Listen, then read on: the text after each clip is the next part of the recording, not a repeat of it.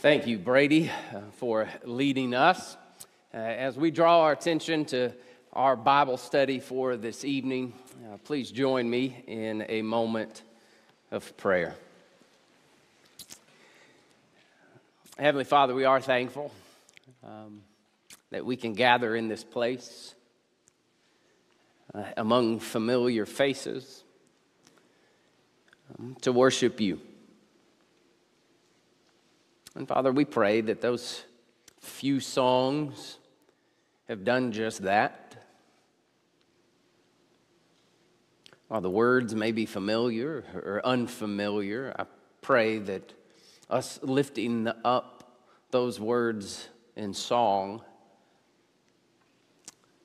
have been pleasing to you. That we have offered up those words out of grateful hearts. Because we have seen your goodness, we have seen your grace, we've seen your faithfulness towards us. And Father, I do pray for all of us here tonight that we would be able to put what we've been through this day, this week, this season on hold.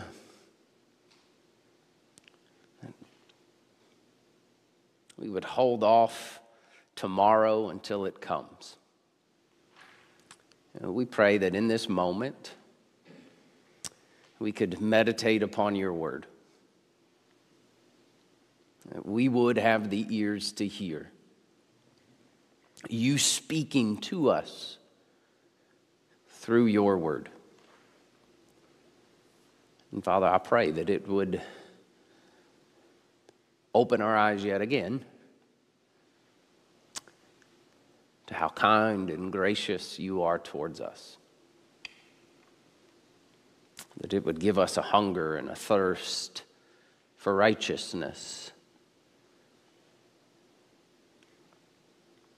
That this time in your word would break us of the patterns of this world and make us more like your son Jesus. May your spirit guide us to truth now and bear fruit in us.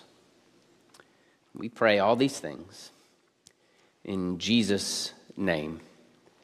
Amen. We are in a study of First Thessalonians, um, as is our habit here on Wednesday night. We will take it slow. And we will make our way through First Thessalonians. We will reach Second Thessalonians come April. Tonight, in our study of our passage from First Thessalonians chapter 2, we will hear about the Word of God and the work of Satan. So it should be a fun night. If you would join me. First Thessalonians chapter 2. We've made our way to verse 13, and we will read to the end of the chapter. 1 Thessalonians chapter 2, beginning at verse 13. If you're ready for it, can I hear a big, loud amen? amen? Apostle Paul continues speaking to the church in Thessalonica.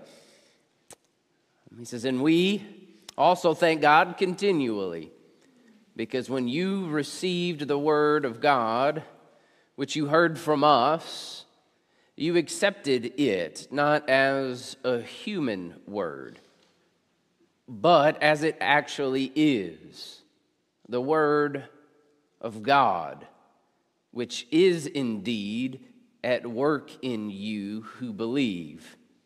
For you, brothers and sisters, became imitators of God's churches in Judea, which are in Christ Jesus. You suffered from your own people. The same things those churches suffered from the Jews who killed the Lord Jesus and prophets and also drove us out. They displease God and are hostile to everyone in their effort to keep us from speaking to the Gentiles so that they may be saved. In this way, they always heap up their sins to the limit. The wrath of God has come upon them at last. Verse 17. But, brothers and sisters, when we were orphaned by being separated from you for a short time, in person, not in thought, out of our intense longing, we made every effort to see you, for we wanted to come to you. Certainly I, Paul, did, again and again. But Satan blocked our way. For what is our hope, our joy, or the crown in which we will glory in the presence of our Lord Jesus when he comes? Is it not you? Indeed, you are our glory and joy. Amen to that portion of 1 Thessalonians chapter 2. Hopefully, you grabbed a handout on the way in tonight. Uh, I'll draw your attention back to verse 3, that first blank on your hand night, handout tonight. The Word of God has authority. I draw your attention back to verse 13. And we also, thank God continually, because when you received the Word of God, which you heard from us, you accepted it not as a human word, but as it actually is, the Word of God, which is indeed at work in you who believe. Paul is thankful as he is in most of his New Testament letters, the Apostle Paul is thankful for the churches to which he writes. Uh, but here, in this note of thankfulness, he gives us a bit more. He's thankful. He's thankful for these believers. He's thankful for this church, but why? He's thankful because these believers accepted the preaching and here in this passage, if you've been with us, you remember earlier the Apostle Paul names some co senders at the beginning of the letter, but he often uses the singular I. But, but here in this passage, he, he uses we language. This church accepted their preaching, they received it, they accepted it. But Paul's thankful that they didn't accept it merely as his word or the preaching of his missionary friends. They received it as the word of God. And as we will see more tonight, um, the believers in Thessalonica accepting the word of God led to consequences. They immediately felt persecution and hostility from the people around them. If you were here the very first week of this study, we, we referenced the book of Acts and where we can follow Paul's journey through Thessalonica. And it's in chapter 17 of the book of Acts that we, we get a hint at what's really happening here. When the believers in Thessalonica accepted Paul's preaching as the Word of God, they began to call Jesus Lord. We look back at Acts 17, verses 5 through 9, when we see this actually take place in the book of Acts, when the church in Thessalonica began to call Jesus Lord, they stopped calling Caesar Lord.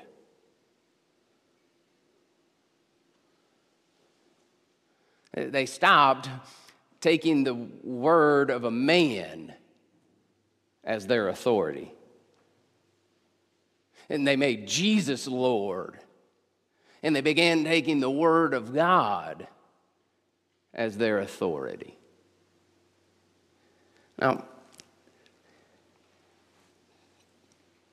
Apostle Paul here in one verse uh, calls what we call the Bible the Word of God not once but twice.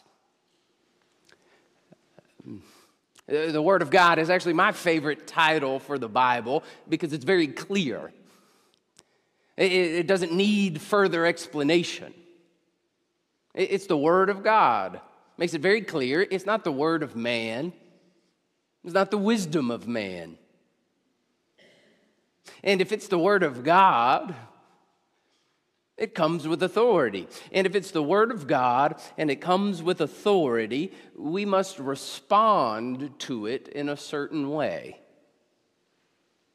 So, if you've got your handout tonight, I've given you a little bit of information there. Uh, hopefully, the faithful Wednesday crowd knows that when I give you more information, it's really not for your benefit. It's an attempt to speed me up because it's already in front of you, so you don't need me to tarry. It's there in front of you. Okay, if the Bible has authority because it's the Word of God and we have to respond to it in some way, well, how do we respond to it? How do we interact with it? Well, the first point is a bit redundant, uh, but the Bible is authoritative.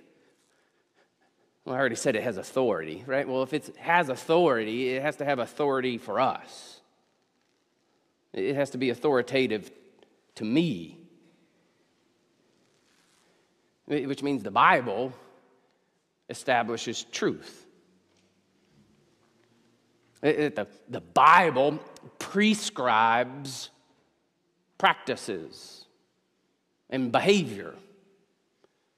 That the Bible is the final authority on matters of faith, matters of theology, matters of life. It's authoritative, and we must obey it. I, I, bring that down a bit in that second point on your handout. The, the Bible is sufficient. Well, that must be added because, uh, contrary to popular opinion, the Bible's not outdated or old fashioned. On the first point, it's authoritative, and then here, it's sufficient. It, it's enough. In even the hot button topics of today, we're, settled in the Bible, penned long ago. Our hot button issues of sexual ethics, sexual identity, racism, marriage, family, anything else we can come up with. Thoroughly discussed and decided in the pages of Scripture. It's authoritative and sufficient. And then building off of that, it's also effective. The Bible actually delivers upon the promises that it makes.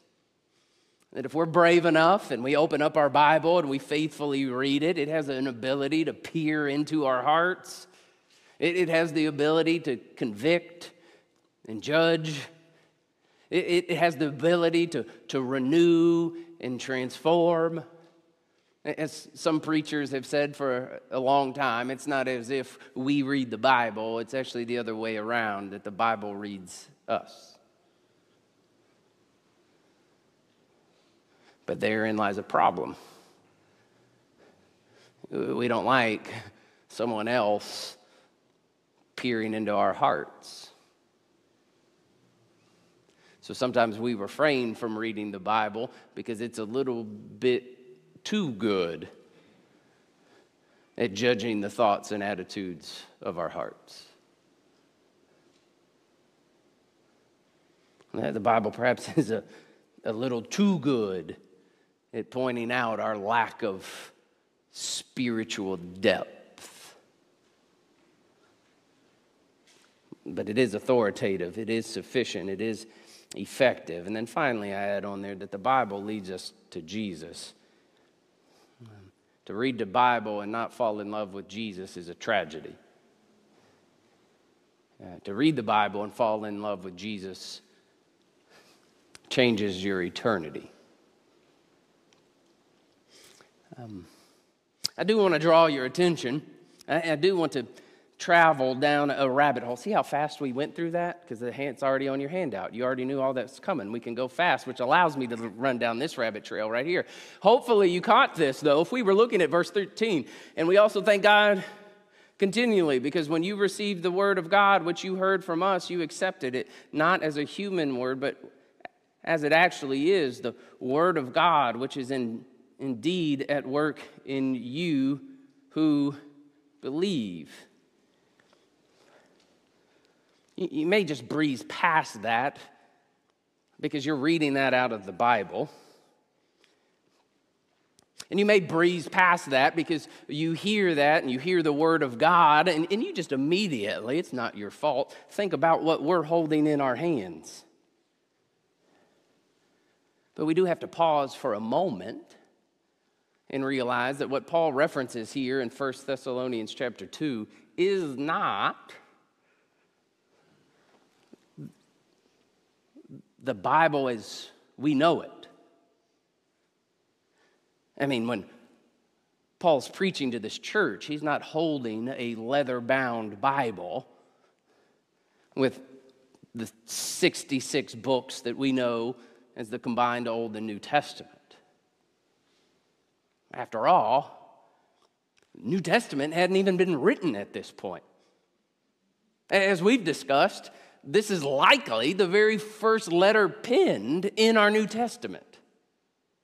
They had no concept of a New Testament. What Paul's actually referencing here is the apostles' preaching.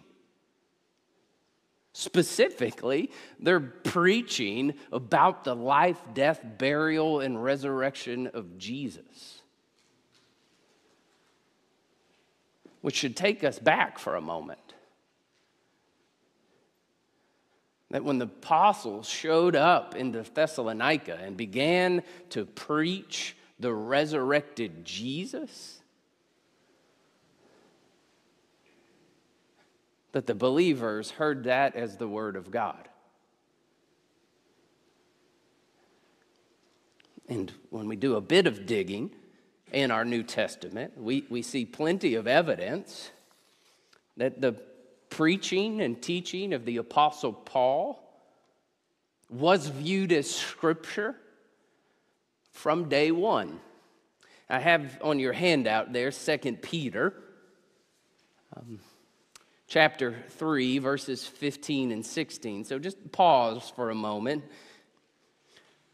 First Thessalonians, written by the Apostle Paul. You know Paul, he was actually a persecutor of the church, right? Not an original disciple, apostle of Jesus was actually a persecutor of the church was one day on the road to damascus on his way to get even greater authority to persecute the church but it's on that road to damascus that paul meets the risen lord who knocks him off a horse and calls him to be the preacher to the gentiles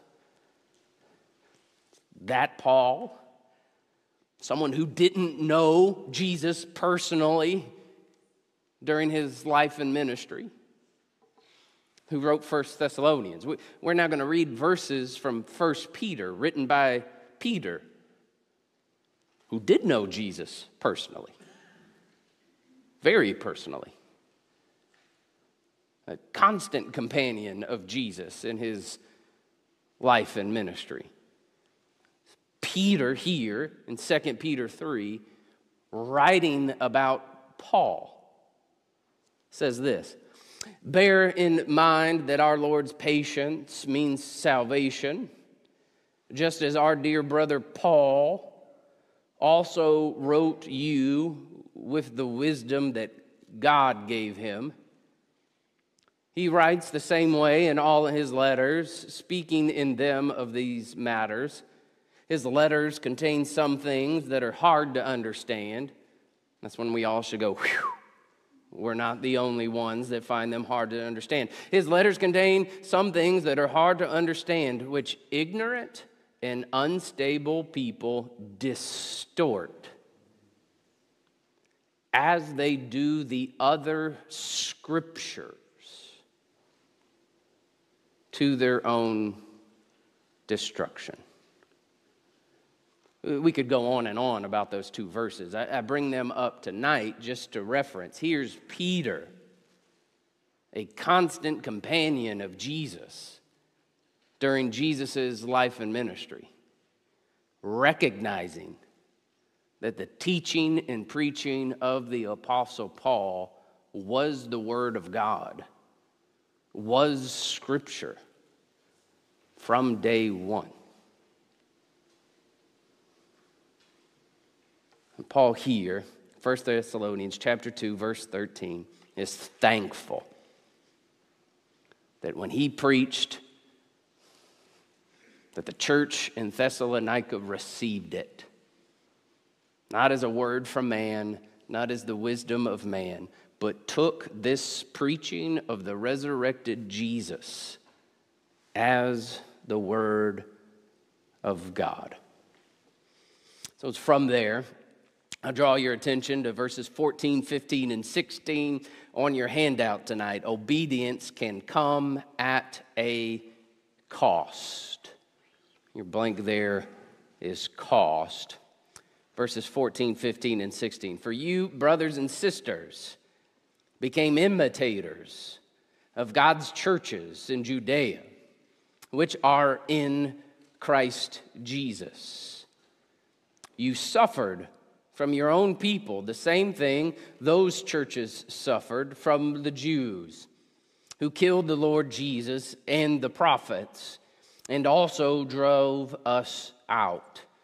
They displease God and are hostile to everyone in their effort to keep us from speaking to the Gentiles so that they may be saved. In this way, they always heap up their sins to the limit. The wrath of God has come upon them at last. It's in verse 13. The believers in Thessalonica received and accepted the word of God. At the end of verse 13, Apostle Paul says that this word is at work in you, which means that they were actually obeying it. It was actually transforming them, it was actually making them more Christ like. And then as a result, we get verses 14, 15, and 16 that their obedience to the word of God came at a cost. And here, once again, we see this New Testament theme of persecution. Here,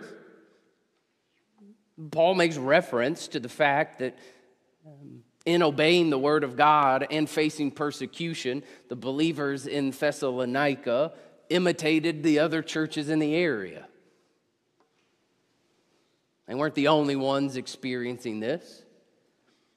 As we've discussed in previous weeks in this study, we, we can now add the churches to this, in this area to the illustration.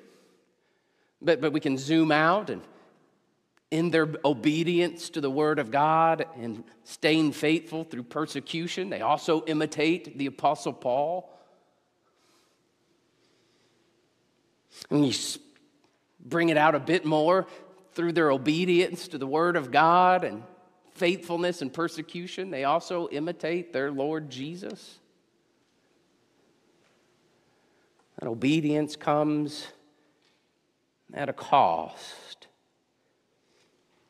And then in these verses, um, the Apostle Paul gets very specific.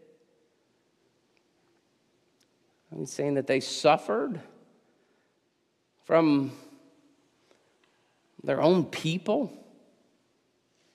The same things that those churches suffered from the Jews. So you're saying in a, a specific area of Judea, there's a specific gathering of Jewish people who the Apostle Paul links to some very specific things. He mentions that, this specific group, somehow, some way, involved in uh, the killing of the Lord Jesus and the prophets. They're the ones responsible for driving out the Apostle Paul and his missionary crew. They displeased God and they were hostile to everyone. And that all of this was done in an effort to keep salvation from the Gentiles. He says, all of this is this particular group heaping up, that's the language of the NIV, heaping up all of their sins to the very limit. And then he mentions judgment. There's a lot of things about that passage that make me scratch my head. Um, I did a lot of reading about it this week and didn't scratch my head any less. Eh, but here's believers in the gospel in this given area being persecuted by a very specific group. Somehow the Apostle Paul links to persecution, not only of Jesus, but also the prophets. And you think about this.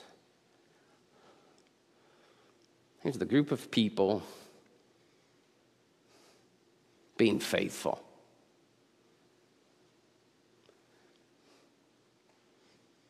And it comes at a cost. They're being faithful. Well, first, they have to put down their own will and take on the will of God. That's difficult enough, but worth it. But then on top of that, they're, they're obedient to the word of God, and with it comes hostility, opposition, and persecution. I mean, Apostle Paul says, still worth it. And as difficult as that passage is, what I take away from it is that the cost should not stop faithfulness. There will be a cost. Uh, but that cost, whether it's hostility, opposition, or flat out persecution, that cost should not stop our faithfulness. And what we will see here in a minute when we finally get to the end of our passage tonight, our faithfulness will be rewarded. And what we see right here in the verses we just read, that opposition to the work of God will be judged. So, when we're in the middle, when we, when we face those moments where our obedience is coming at a cost, as difficult as it may be, we can take confidence, we can rest in the truth that our faithfulness will be rewarded. And opposition to the work of God will be judged. If that wasn't cheery enough, I draw your attention to verses 17 and 18. And your blank there is Satan is at work. If you're still with me, can I hear a big loud amen? amen. We're making great time tonight, I promise. Uh, verses 17 and 18. But, brothers and sisters, when we were orphaned by being separated from you for a short time, in person, not in thought. Out of our intense longing, we made every effort to see you, for we wanted to come to you. Certainly I, Paul, did again and again, but Satan blocked our way. Uh, verse 17, the Apostle Paul makes a reference to his many attempts his desire to be reunited with the church in Thessalonica. And while he wants to see them, he also expresses his deep affection for them. We'll see why he has such a deep affection for them in just a few verses. But his attempts, his desire to go back to Thessalonica were blocked. And then he gives us a curious detail with no further explanation. Those attempts were blocked by Satan. You might ask, well, how? Well, we're not told. But he does tell us that Satan blocked his attempts. So that does give us a, enough of an excuse for another rabbit trail. Uh, Satan, a- according to Romans 16 20, Satan is one who opposes God. According to 2 Corinthians 2:11 and 2 Corinthians 4 4, Satan seeks to hinder the progress of the gospel. According to 1 Corinthians 7 5, Satan tempts followers of Jesus. Satan opposes God, hinders the progress of the gospel, tempts the followers of Jesus. Well, opposes God, seeks to hinder the progress of the gospel, might at least explain the why Satan would seek to block the Apostle Paul here. If we follow that rabbit trail a bit more, eh, according to Colossians 2 14 and 15, Satan is defeated by the cross. Eh, according to 1 Corinthians 15, verses 24 and 25, Satan is doomed to be completely vanquished in time. But yet, eh, Satan continues to attack God's people as Paul knows personally from a passage we've referenced a couple of times in this study already 2 Corinthians 12 7.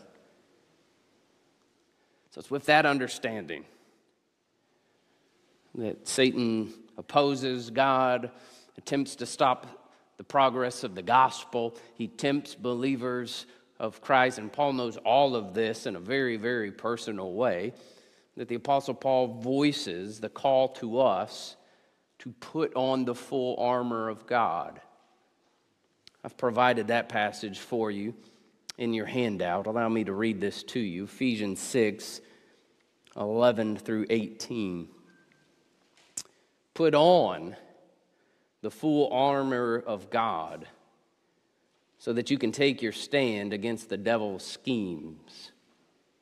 For our struggle is not against flesh and blood but against the rulers, against authorities, against the powers of this dark world, and against the spiritual forces of evil in the heavenly realms. Therefore, put on the full armor of God, so that when the day of evil comes, you may be able to stand your ground, and after you have done everything, to stand. Stand firm, then, with a belt of truth buckled around your waist with the breastplate of righteousness in place, and with your feet fitted with the readiness that comes from the gospel of peace.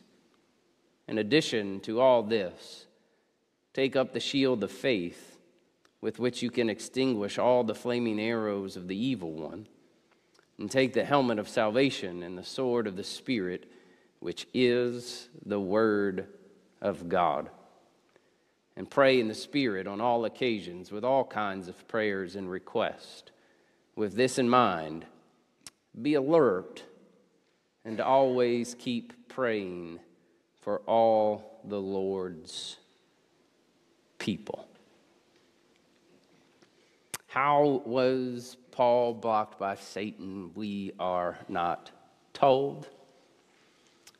Um, but he calls all of us to put on the full armor of God. Now, we, we read a passage like that. Um, and it might seem terrifying. Some of you were tempted to amen that. We, we read a passage like that. We, we, we hear about the work of Satan. We, we hear about a call to put on the full armor of God, and that, that might frighten us a little bit. Um, and if that fear causes you to take heed to the passage, by all means, take heed to the passage and put on the, the full armor of God. But I, I'd like to think of it in a bit of a less scary way. Um, I encourage you to read your Bible. Um, I, I, encourage you to, to pray. I encourage you uh, to attend church. Now, if I were to ask you, um, you know, please don't respond to this rhetorical question. Um, what one of Pastor Jeff's sermons was your favorite? I know it's too hard. I know I told you not to respond. Don't, you know, give me a top 10 list of your favorite sermons from Pastor Jeff. I'm kidding because I realize that's going to be pretty difficult to do. Not because they're all great, right? We just have a hard time remembering them, right? We just have a hard time remembering them. If I were to ask you, uh, tell me about like your favorite time that you spent in prayer to God, you might have a hard time thinking of your favorite time in prayer. You, might have a hard time remembering your favorite experience in church. But here's what I say every time you were in church, Every time you prayed, every time you studied your Bible, it nourished you. It did. Just like if I were to ask you your favorite meal that you've ever had, you might struggle to think of your favorite meal. But every meal you've had has nourished you. Every meal you've eaten has allowed you to survive to this very moment. So I encourage you, by all means, put on the armor of God. Have a regular habit of reading your Bible. Have a habit uh, of praying. Have a habit of, of church attendance. Have a habit of all these things mentioned in this armor of God passage. But do so not out of fear. Do so knowing that every time you do, God's protecting you and providing for you and caring for you in ways in which you don't even know. He's provi- providing for you in ways of which you are simply unaware. And thank God that I'm unaware of all the ways He has provided for me and cared for me.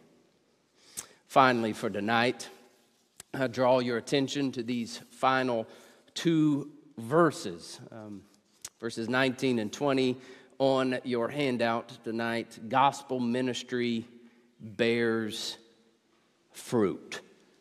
I'll draw your attention back to 18 and 19. For we wanted to come to you. That's 18. 19. For what is our hope? our joy, or the crown in which we will glory in the presence of our Lord Jesus when he comes. Is it not you? Indeed, you are our glory and joy.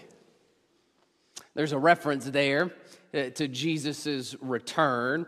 Uh, we will have much of the latter half of First Thessalonians study discussing the return of Jesus. So we'll get to that in due time. Uh, but here in verses 19 and 20, we see why Paul so eagerly wants to see the church in Thessalonica again. For the Apostle Paul, these believers in this particular place, provide for him a representation of the fruit of his ministry. It's when he sees these believers, for whatever reason, You know, it's one of those things. Did Apostle Paul just say this to everybody? Maybe. Right? But, eh, but, but he's saying it here to this particular group. That, that when he sees them, they are a visible, tangible expression of the fruit of his ministry. And one day, when the Lord returns, and the Apostle Paul is there before his Lord, the, the evidence of his ministry, his fruitful ministry, will be the believers in Thessalonica. They will represent his hope and his joy and his crown. That he was faithful to the call, that he went to the places that he was supposed to go, that he preached the message that he was supposed to preach, and people actually believed.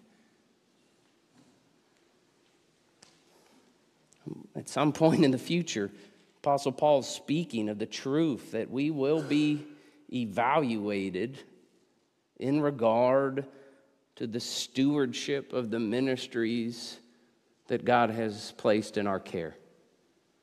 Now, I want to be very clear here. Um, Apostle Paul was faithful. And as a result, there was a church in Thessalonica. There are times when our gospel ministry bears fruit that can be counted. And this is what the Apostle Paul references. In the church in Thessalonica, his fruitful ministry can actually be seen. And there's times for that. There really is, to, to rejoice in the visible fruit of ministry. But the, the New Testament also provides plenty of evidence that sometimes gospel ministry bears the fruit of faithfulness. Period.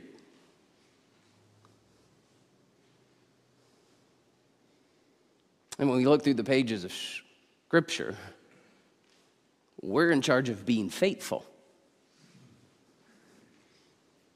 God brings about fruit. So sometimes, by the grace of God, we are faithful to our call and we get to see fruit. That's why Apostle Paul's so excited to get back to this place. You know, in other places, he's getting run out of town and, and he preaches and riots start. He, he gets to preaching and thrown, stones are thrown out of him. But here's a group of people that are actually receptive to his message. He wants to see them. Gospel ministry bears fruit. Sometimes it can be counted, and sometimes it's merely counted by our faithfulness. So when we look at this passage tonight, my, my word to you is, is draw your attention to the Word of God. And your attention upon the Word of God will open your eyes to the character of God, the, the will of God, and the work of God. And then your obedience to the Word of God will likely lead you to opposition and fruit. But it's worth it. Let me just say that once again. Our, attention has to be upon the Word of God, and it's in the Word of God that our eyes are open to the character of God and the will of God and the, the work of God. And then when we're obedient to that Word of God, it will likely lead us to opposition and fruit. But all of it worth it. Let us pray. Heavenly Father, I'm thankful for this group um, you've gathered to hear. Um,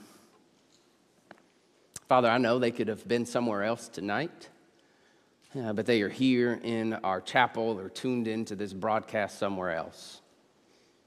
And Father, I pray that you would reward them in whatever way you see fit for their faithfulness to your word tonight.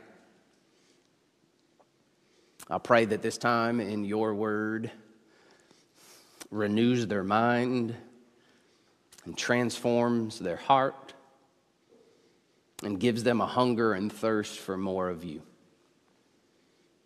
Father, I know present in this chapel tonight and in the viewing audience at home or somewhere else, there is an abundance of need represented by these people hearing the sound of my voice. And Heavenly Father, I'm so thankful that you created each person. So thankful that you know them better than they know themselves. I'm so thankful that as we go through the day, it may seem as if no one knows and no one cares. But we're so thankful that you know. And you are bigger and stronger and wiser than anything we face. So, Father, I lift up every person hearing the sound of my voice. I pray that they would feel your presence. Not in some sort of you know, sentimental way, but may they feel your presence because of the spiritual truth, the, the, the spiritual reality that you are here with us. May each one of us lean upon you. And may we find you faithful.